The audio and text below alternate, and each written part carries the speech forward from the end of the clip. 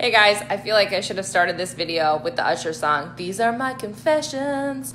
Okay, but um, I wish I would have done a series like AIP Confessions every week, so I'm just really bummed. But, anyways, day 28.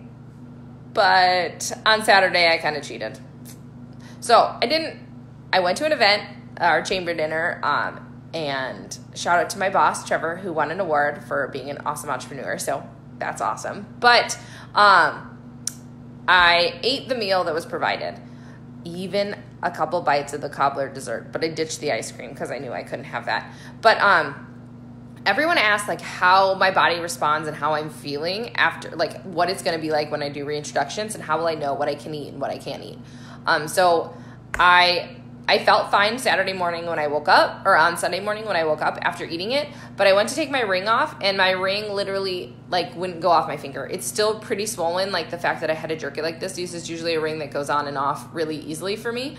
Um, but it was really so I'm really swollen. Um, my hands kind of like are sore. Not like I don't know, like they just feel inflamed and swollen. So that was the first thing that I noticed. And everything other than that was kind of fine. Maybe I was a little like kind of draining or like coughing a little bit, but none of that really mattered until after dinner last night, which I ate all the things that I could eat according to AIP on Sunday. But after dinner last night, my stomach was so bloated and so inflamed, like painful, like hurting.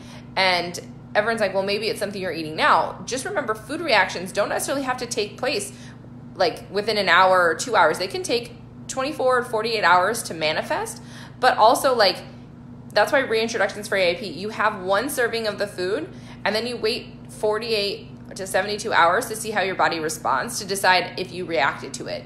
If you don't react to it, then I'm going to reintroduce foods and I'm going to have a serving every single day for a week to see if the food can be reintroduced to my diet. So, right now I know for sure that something I ate at the party is something that I'm going to react to.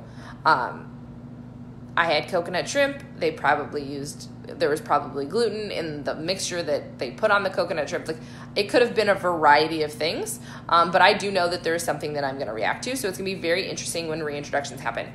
But since I did this, that means I might not start reintroductions on um, on the 31st because I have to wait until my body is back to normal, um, to what my normal is. So if you're doing AIP or elimination diet and you're doing reintroductions, if you reintroduce and maybe you like I say I reintroduce, I waited my 42 hour 48 hours and I found a food that I can't have.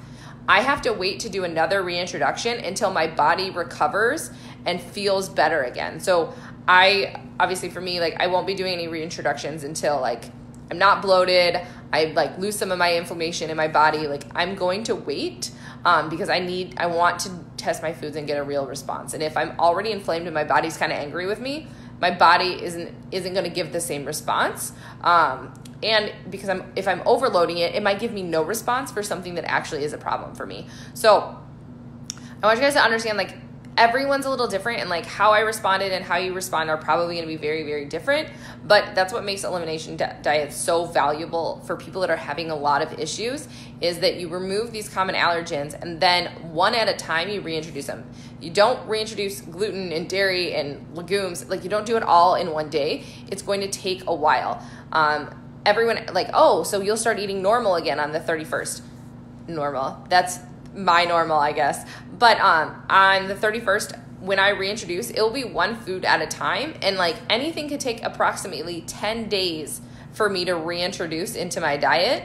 And then I have to wait for recovery. So, like, the actual reintroduction process could take a very, very long time. Um, I'm guessing with the big foods that I want to reintroduce, I'm going to guess about um, 10, uh, 60 to 90 days for my first group of reintroductions and like that's like one spice at a time. So like my first thing my first couple that i'm gonna reintroduce since everyone everyone really cares uh, black pepper coffee and eggs will be my first three um, that i'm going to reintroduce and see how my body responds.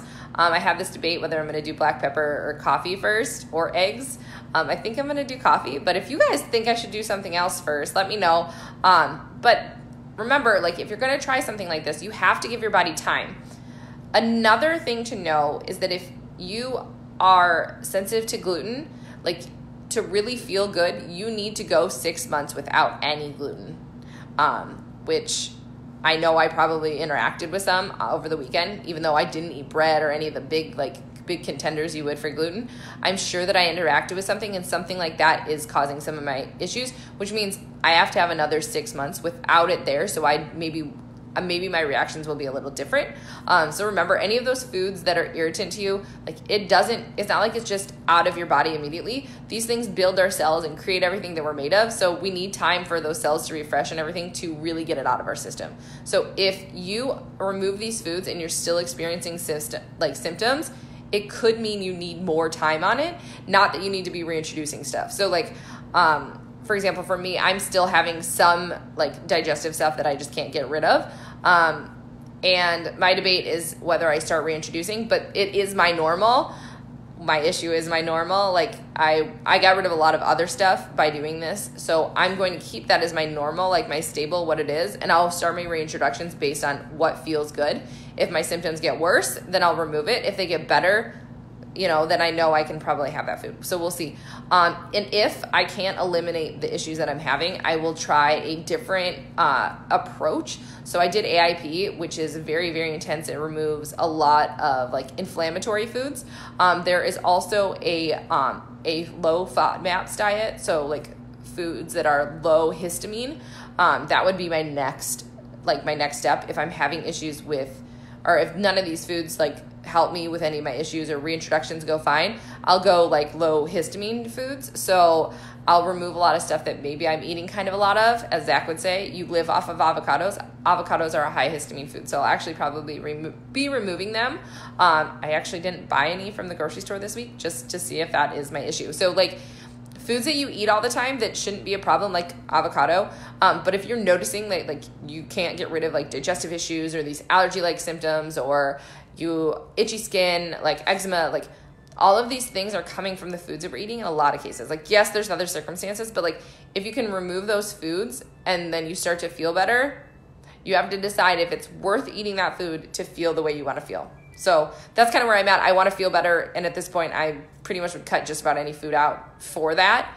Um, especially after like how bloated and miserable I felt last night, and I slept terrible because of it. So um, think of all the ways the foods that you eat interfere with the rest of your life, and you can make those decisions. So if you guys have any questions or want to know more, let me know. Um, also, um, this is exactly what I'm doing in my 90 day refresh and reset for my one on one clients is that we kind of dig into these things. Some people might be doing elimination diet. Some people we might be removing one or two things um, to see how your body goes. Not like a full on inflammatory like thing like I'm doing, but um, little steps like that. Also, um, we'll be working on a ton of environmental factors that help you be successful based on the information that I get from you in your health and wellness questionnaire. So if you guys are interested in refresh and reset, I still have um, three spots left and I am closing the doors on January 31st. That will be the last day that I'm going to take anyone for 90 days one on one coaching.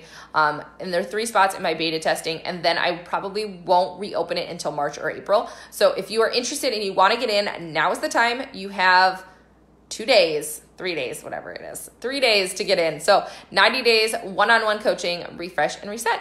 All right, guys, that's all I got. Have a wonderful Monday. Bye.